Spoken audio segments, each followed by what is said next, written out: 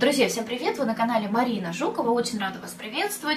Сегодня хочу с вами поделиться интересным способом, с помощью которого можно отстирать очень грязную шторку в ванной комнате.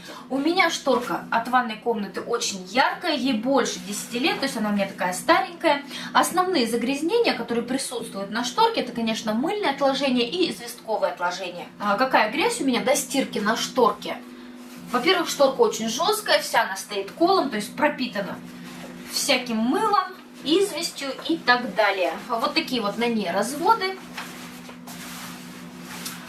Много желтизны. Если бы она была белая, то, конечно, она бы сейчас была вся желтая. За счет того, что она все-таки цветная, конечно, загрязнение она немного скрывает. Ну, я думаю, что вам видно, что есть здесь над чем поработать. Вот, смотрите, вся она сворачивается, потому что, конечно, очень-очень грязная.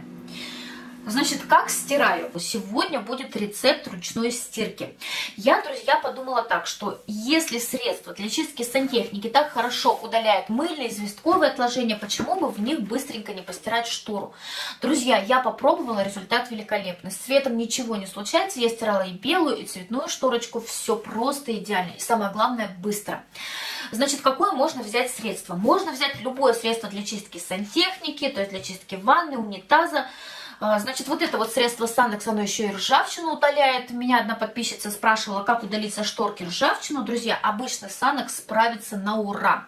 У меня вот, э, когда я делала эксперимент с этими средствами, на шторке э, были ржавчины от крючков, да вот прекрасно Санекс эту ржавчину растворил. Можно взять вот такое вот средство для удаления накипи, то, чем мы чистим кофемашины, чайники, посудомойки, стиральные машины. Единственное, для этого средства нужна более высокая температура. Если у вас совсем тоненькая шторка, а, то, наверное, лучше взять средство для сантехники.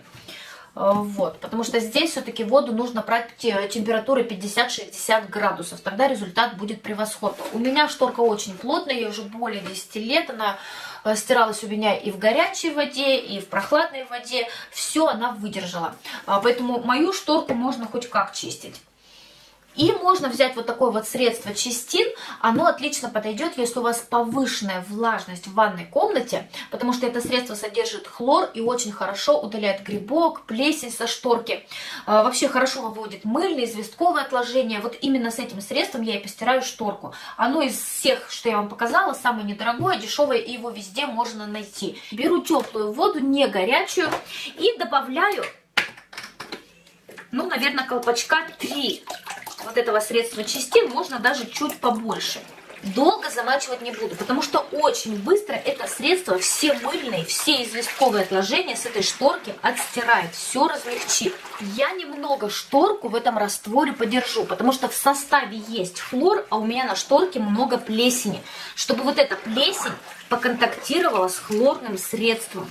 Беру свою любимую японскую мочалку и по низу немного прохожусь. Вообще со средством чистин я стираю даже в стиральной машине. Поэтому если вы стираете свою занавеску в стиральной машине, друзья, смело можете заливать чистин в стиралку. Я с чистином э, даже просто вот пустую стиральную машину запускаю для того, чтобы ее прочистить от плесени, от неприятного запаха. Вместо такой щетки можно взять любую щетку, любую губку. Да тут, в принципе, чистить ничего не нужно, потому что чистин либо любое другое средство для чистки сантехники очень быстро вот такие вот легкие загрязнения размягчает. И с цветом ничего не случается. Вот абсолютно ничего. Итак, друзья, занавеску я постирала. Абсолютно не пахнет она никакой хлоркой. Чистая, свежая, яркая занавеска. Значит, во-первых, хочу вам показать, как хорошо отстирались области вокруг крючков. Здесь было небольшое количество ржавчины. Смотрите, как все прилично, хорошо выглядит. Поэтому, если у вас есть ржавчина на шторке, смело можете пробовать мой способ. Видите, ржавеют крючки, и все это было вокруг ткани. Значит, друзья, давайте будем смотреть дальше. Во-первых, вот покажу вам белые участки. Они все были желтые, смотрите. Все хорошо отстиралось. Шторка влажная, я прям влажная. Сейчас ее повешаю за крючки. Вот. Все чистое. Здесь все было желтое. Сейчас появились белые полоски. Вот так вот хорошо отстиралось. Вот, видите? И ткань стала значительно мягче. То есть, когда убрала известковый налет, мыльные отложения, ткань значительно мягче, значительно чище, плесени тоже нет. Можно поступить намного проще. Такой способ есть у меня на канале. Шторку кладу в стиральную машинку, кладу туда же какое-нибудь махровое полотенчико. Значит, добавляю белизну. Белизну можно добавить в гранулах. Такую белизну я вам тоже показывала. Сейчас покажу, как она выглядит. Вот так вот выглядит белизна. Это бренд Золушка. Есть значок стирка в стиральной машине, мне кажется, эта белизна меньше пахнет хлоркой, чем обычная белизна гель. Добавляю где-то 2-3 столовые ложки максимум, то есть много добавлять не нужно.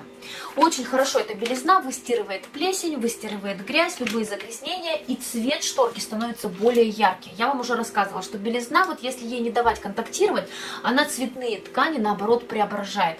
Цвет становится более яркий, ничего ни с тканью, ни с цветом у меня ни разу не случалось. Поэтому, друзья, пробуйте, можно можно постирать вручную с теми средствами, которые растворяют известковые мыльные отложения. Можно постирать прямо в стиральной машине, добавив белизну. Вот два способа, которых я обожаю, люблю и регулярно ими пользуюсь. Друзья, всем вам огромное спасибо за просмотр. Меня обязательно дополняйте. Всем пока!